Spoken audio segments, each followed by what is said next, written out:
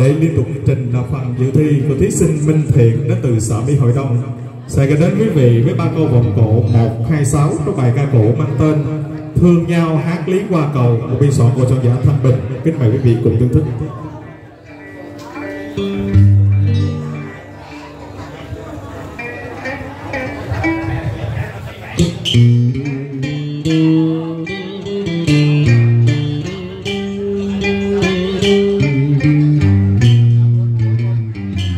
Mm-hmm.